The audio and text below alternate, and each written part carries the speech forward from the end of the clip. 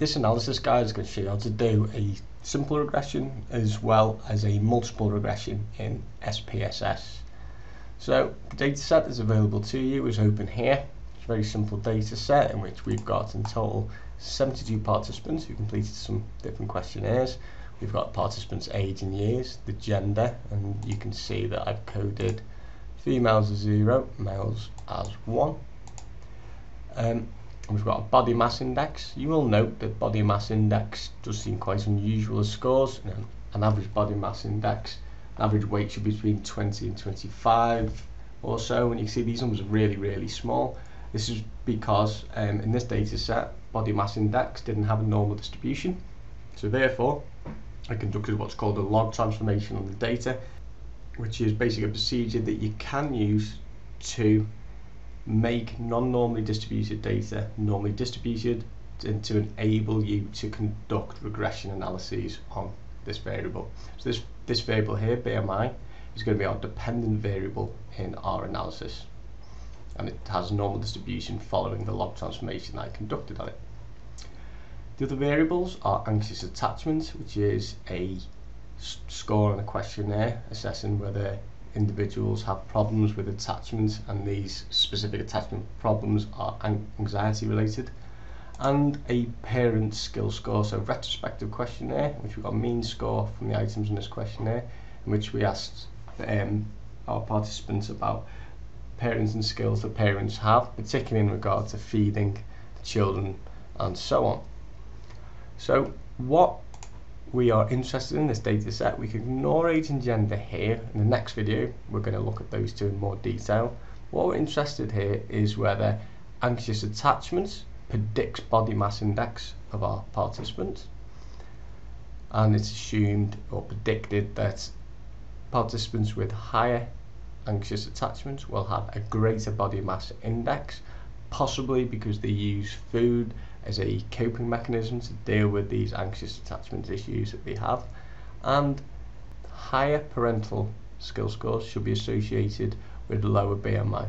This is hypothesized to be the case because the belief that if you grow up with your parents feeding you more healthy foods and so on, that you're going to bring that into your adult life yourself. So participants who had parents who fed them worse, gave them lots of sweets, um, fed them at irregular times and so on, gave them any food that was requested.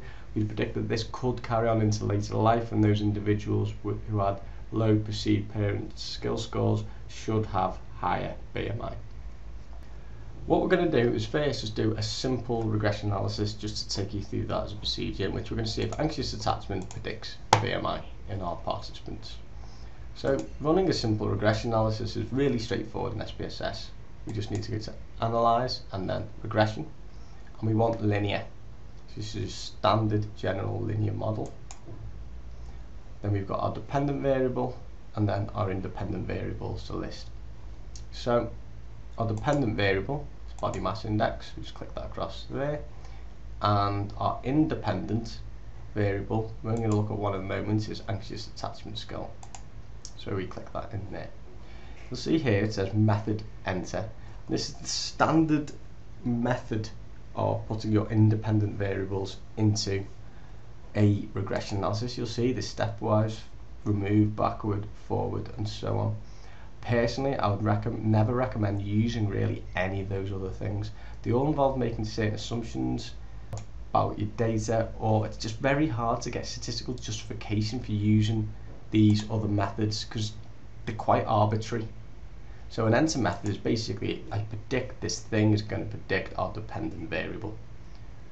So you just put it in, there's no sort of rules about whether you keep it in, whether it goes in, etc. It just is there in your data. You will probably never use any other method other than this, and generally I'd recommend against using them in any circumstance.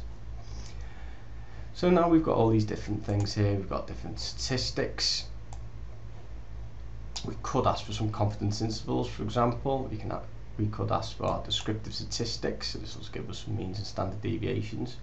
These factors here, we're not going to worry about within this video at the moment, nor will we worry about this video or these factors here. So we just click continue.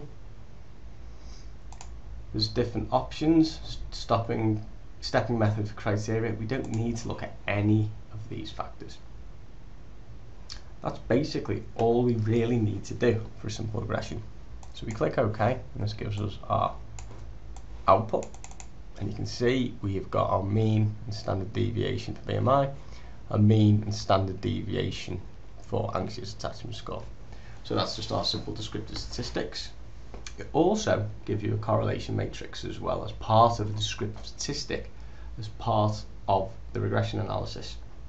We don't really need this, it's not particularly important to us at the moment, but I will point something else about it later on. So the first table we'll see here, it says variables entered removed, and this is simply the setup of your regression model. So it says here model 1. When you do a regression in this style, you're only ever going to have one model. It only becomes, you only see different models, model 1, and then another box of model 2, if you do what's called a hierarchical regression, which I'll be showing you in a later video. In this case here, it simply states variables entered, variables removed, and the method. So in this case, we've just got variables entered and attachment score. The methods I show you, this will never be populated, and the method is the enter method, which is what I highlighted before. And again, that's the one you should really be using. So this just tells you how you've set things up, and it says here as well, your dependent variable is BMI. So you just know you've set things up correctly in your regression analysis. This next table is a very important table when it comes to regression analysis. You'll see it gives you an R, an R squared statistic, an adjusted R squared statistic, and a standard error of the estimate this value here, this R, is essentially the Pearson's R from the correlation coefficients. You'll note that that is exactly the same as the one that's given to you in the correlation table. It's just a correlation coefficients. Now, these two values are important. We've got R squared and adjusted R squared. They're used relatively interchangeably. Personally, I prefer the use of adjusted R squared because it's a more conservative measure. And as you can see, we've got our R squared statistic here as 0.218 and our adjusted R squared is 0.207, so it's slightly smaller. Generally speaking, I think it's always wise to be quite conservative of when you're reporting any statistics. Um, so in this case, we're just going to look at the adjusted R squared and we can ignore the standard error of the estimates as well. Basically, what we can use this, this gives us a rough estimate of the amount of variance that our regression model predicts. So you can simply just convert this into a percentage. So as it's 0.207, to convert this into percentage, we just move our decimal place over three points, times it by 100, and what you can see is this gives us a 20.7% of variance. And you can write this up accordingly. So you could say that the regression, the regression model predicted approximately, and you round this up, 21% of variance in BMI. So, however, it's all very well saying, oh, we predicted this percentage of variance, but is that amount of variance statistically significant? And this is where our ANOVA table comes in regressions and ANOVAs are completely related to each other, well, ultimately the same mathematical theory behind it. And what we need to do is simply, we look at this, okay, it predicts approximately 21% of variance, and this says that amount of variance is statistically significant. You'll notice it doesn't give us an effect size, so like you'd be familiar with from previous ANOVA videos, the partial eta squared, this is because it doesn't really need one because you're actually really clearly articulating how big an effect is. It's predicting about 21% of variance. So the first step in the regression is simply you would write up these two tables combined and it just look like such. So basically you'd be saying the regression model predicted approximately 21% of variance in BMI scores and we can report our adjusted R squared and then we'd report the ANOVA in exactly the way that you're familiar with. You'd give it an F degrees of freedom and its p-value. So the reader now knows that you're predicting about 21% of variance and that's statistically significant. Next thing we need to look at is this. This is the coefficients table. With a simple regression, this doesn't give us that much additional information, really, because it's a simple regression. This is simply going to say This is the association between anxious attachment score and BMI. Because we've only got one predictor and we know it's statistically significant, therefore this number is also going to be statistically significant and it's inherently going to give you the same p-value. So we'd still write this up because this does actually give us one additional piece of information. This tells us the direction of the association between anxious attachment scores and BMI. And the regression coefficients tell us this. Because the regression coefficients, so if you look at the unstandardized one here, or we look at the standardized one here, because these are positive numbers, i.e. they don't have a minus figure in front of them, that means there's a, a positive relationship between anxious attachment scores and BMI, i.e. as anxious attachment increases, so does BMI. And you would report this as well. Now, when you're writing this up, you can report it as an unstandardized regression coefficient, which is written as a capital B, and its standard error, you must report a standard error if you give an unstandardized regression coefficient. That is critical. On its own, this doesn't have very much value. Or you can report the beta value instead, which is a standardized regression coefficient. Generally speaking, you see both in the literature. Sometimes you see both together, which I think is somewhat wasted. Um, Generally speaking, I would argue that the standardized regression coefficient is a slightly more useful statistic. Because it's standardized, it means if you're doing a multiple regression, as we'll see later, you can compare which are the greater predictor, which is the best predictor. Simply put, the greater the beta value, so the higher the beta value, or the further away it is from zero, because it can still be a high value but a minus value, the stronger the predictor is. With, if you were to try and do that from looking at these two figures, you need to interpret the two of the things together. So we could write this up and we can mention the direction of this relationship. We can say there's a strong positive association between anxious attachment and BMI. You can repeat that p-value as well if you want. You can get marked down for such a thing and it's very commonly reported.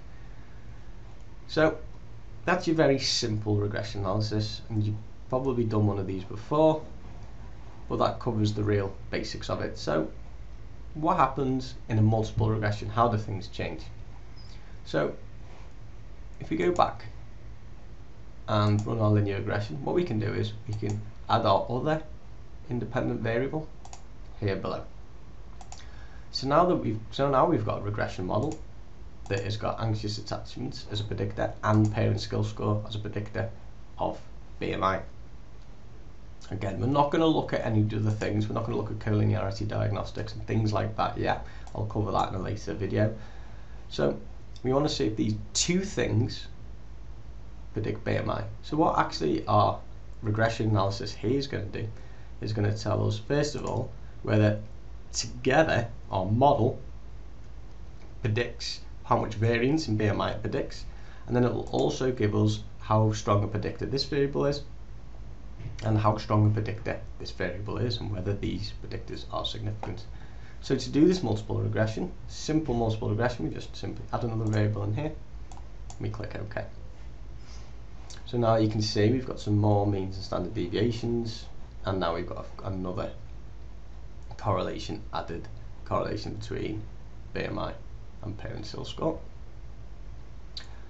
So we see our variables entered removed, you see we've got model 1, we've only got model 1 because when we ran it we put them both into this single box here. If we put them into separate boxes later on then that would give us two models.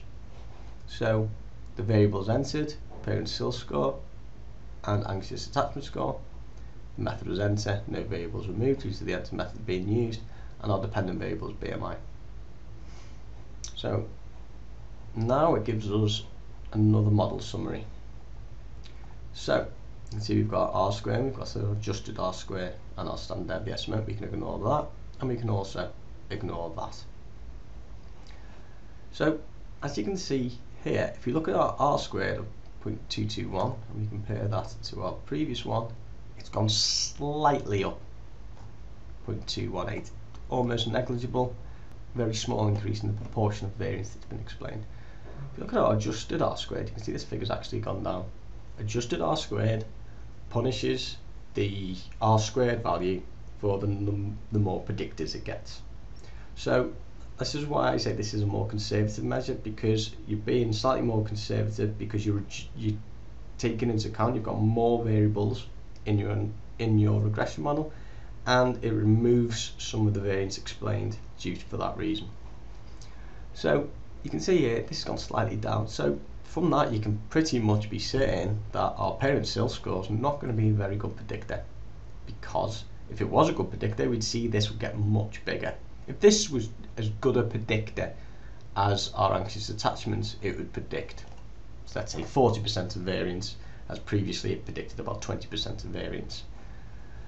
So what we do here is simply we write this up overall a regression model, the regression model being these two variables, predicting BMI, predicted approximately round that up, which would be approximately 20% of variance.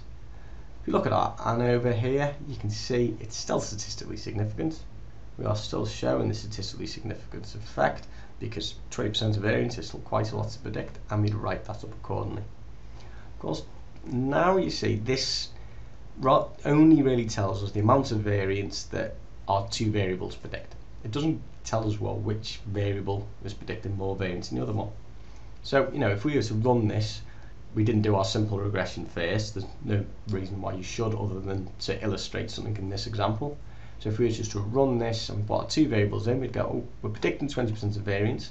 However, what this doesn't tell us, it tells us the model is significant and predicts a decent amount of variance, but it's not telling us which of the two things are a significant predictor. And this is where the coefficients table becomes very important.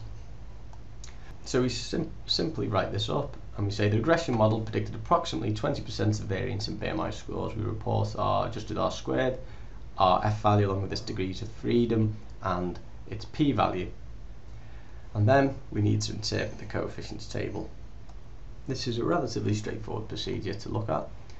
So as I say, I tend to recommend looking at the beta values. I think they're much more easy to interpret. So what we can look at is anxious attachment score, as you can see, as before, significant amount of variance is explained and it's a positive relationship. As anxious attachment increases, there's a significant increase in BMI in our participants. However, if you look at parent skill score, you can see there is a negative association and it's not statistically significant. So this is basically telling us though our overall regression model is significant, predicts 20% of variance, only one of our predictors has any value, anxious attachment score. There is a strong significance association between anxious attachment and BMI. However, there is no statistically significant association between parent skill score and BMI. So as I say, you can write this up like this. Of course, you could report the beta and the standard error instead. Writing it up would look like this. There is something else though that is very commonly done and really should be done, a key assumption check, which is in a regression analysis. And that is the problem of multicollinearity. What multicollinearity means is basically these variables, for example, are really highly correlated. That causes problems with the regression model. It destabilizes your regression coefficients. So what this means is it basically just gives you unreliable regression coefficients. And you don't want to be writing up results, oh, we significantly, we show significant support for our hypothesis when in fact you haven't shown anything. It's just merely a product of you violating this assumption. This, it's a really, really easy thing to check. Go to regression, we go to linear, and go to statistics, we can ask, we can tick this box here, collinearity diagnostics. Then click continue, then click OK. What this essentially does is give you this extra little bit on this table here, which is what we're interested in. And this is the one we're particularly interested in. This is the variance inflation factor. Basically, this is the thing that tells us if we have a problem with multicollinearity. Essentially, there's lots of different cutoffs for this for being a problem. I've seen some recommendations that if this value is greater than 10, it's a problem. However, I think that is far too lax, and I'd say If you have a variance inflation factor of 3 or more, then you've probably got a problem with multicollinearity. As you can see in this case, there's no problem with multicollinearity, so it's not something we need to be concerned about here. Again, with things like multicollinearity, violation of assumptions, you only would report them and do something about it if it's a problem. In this case, it's not a problem. If you do have a problem with multicollinearity, there's not that much you can really do. There's no sort of neat statistical way around it other than a very complicated method. One thing you can do is if the two variables are highly correlated with each other, well, you probably only need one of them in your regression equation because they're both essentially measuring the same thing. That's one thing you could do. So you could just remove one of the variables if they're really highly correlated. Alternatively, you could convert your variables to z-scores. So you'd standardize them, then you could add them together and have a sort of amalgamated variable that covers both these two variables together. The actual statistical solution to it, which is very rarely used and rarely talked about, is to put what's called a ridge correction on it, do a ridge regression. This basically corrects your regression coefficients due to multicollinearity. I'm not going to cover ridge regressions here because it's beyond the scope of any undergraduate study, but if anyone's interested in ridge regression, I'd be happy to send them some papers to discuss them in some way, or I will post some online.